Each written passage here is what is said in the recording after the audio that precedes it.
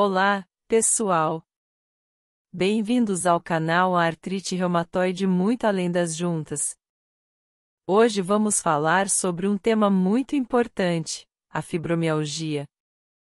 Se você, ou alguém que você conhece, sofre com essa condição, este vídeo vai trazer dicas valiosas sobre como tratar e amenizar os sintomas.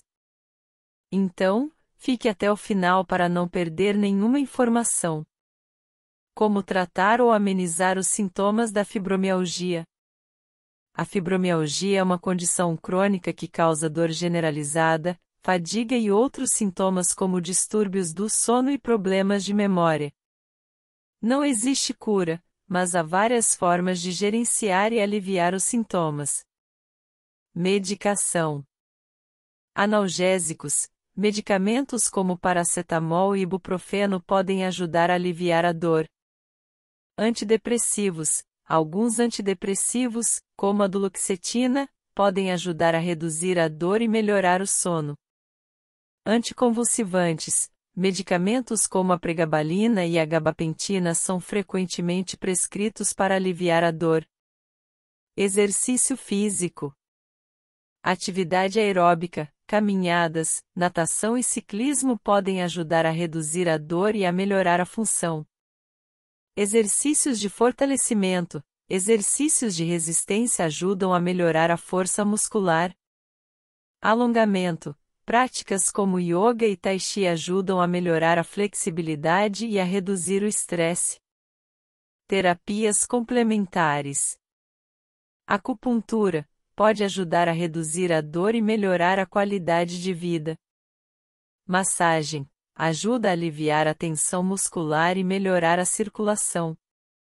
Terapia cognitivo-comportamental TCC ajuda a gerenciar o estresse e a desenvolver estratégias para lidar com a dor.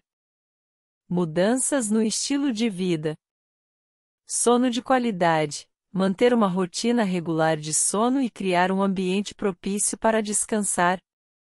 Alimentação saudável uma dieta balanceada pode ajudar a manter a energia e a saúde geral. Redução do estresse. Técnicas de relaxamento, como meditação e respiração profunda, são essenciais. Suporte e educação. Grupos de apoio. Participar de grupos de apoio pode ajudar a compartilhar experiências e encontrar suporte emocional. Educação. Aprender mais sobre a fibromialgia pode ajudar a gerenciar melhor a condição. E aí, pessoal, gostaram das dicas?